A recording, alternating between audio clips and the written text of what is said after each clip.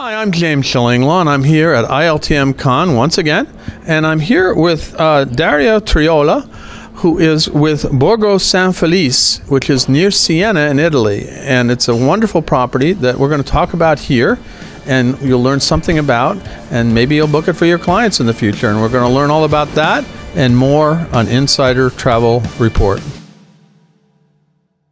So, Dari, great to see you here. Uh, are you having a good show so far? It just started, really. Yes, it's an amazing uh, ILTM, I have to say, one of the best ever plenty of. It is the uh, biggest since for a while because of what we've been going through. Right? yes, yeah. uh, lots of people, lots of meetings, uh, amazing property also all around us. So I'm very happy. Yes, everything. Yeah, tell, tell us a little bit about Borgo San Felice. First of all, you said it's near Siena, right?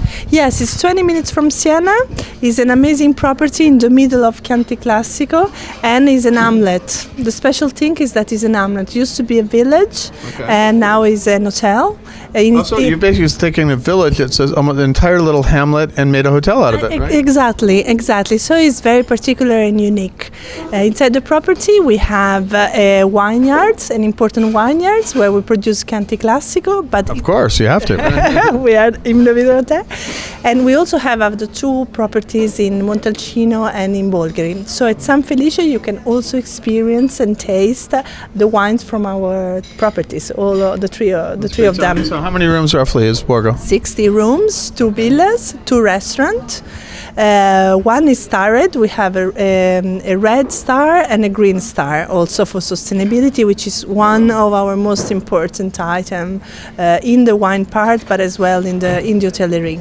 No, that's great. So you basically are in the countryside and you're out there and in the Chianti region and all that, yes. right? And you can experience many things, nice things like truffle hunting at, in fall or bicycling during all season. We have those uh, white roads of Chianti with the Eroica. I don't know if you know it. In October is uh, a particular event. Uh, and then we have a fantastic spa with three great beauty lines. And you stay there and lie on uh, on the swimming pool near the swimming pool. Have a fr- bad and have a Chianti. That's what like that's like that. Uh, now, how, how how how long has the hotel been around? Well, it has been the first relais chateau in Chianti Classico since 1992. Oh, so it's been a while for yeah, a while. Yeah. yeah, but now has been completely renewed in a conservative way. So the, the hamlet is exactly how it was, but of course new and we have uh, finished all the all the working things uh, two years ago. So all the, all, the, rooms have been refurbished, everything. Perfect. And yeah. now this season we are redoing tr- three suites. One will have a private pool, and the two villas will be completely renewed. Oh, so there's a lot of great accommodations to come in 2023, right? Well, we wait for you, of course. well, of course, we were all closed down, so now we can go. That'll be amazing.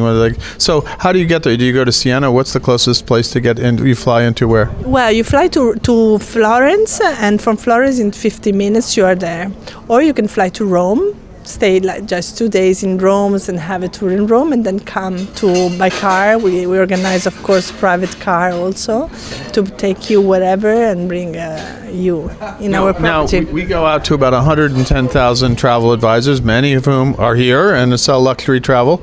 Uh, what what would you tell them about the best ways to, that they can relate to their clients about experiencing this wonderful property? What what are, how, how, what's the best way to stay? Well, I would if you uh, the, why you have to choose San Felice. Uh, to choose San Felice is you, you have to choose it. Sorry, I got it wrong. Uh, you have to choose it if you want to to live a real Tuscan Italian okay. lifestyle experience.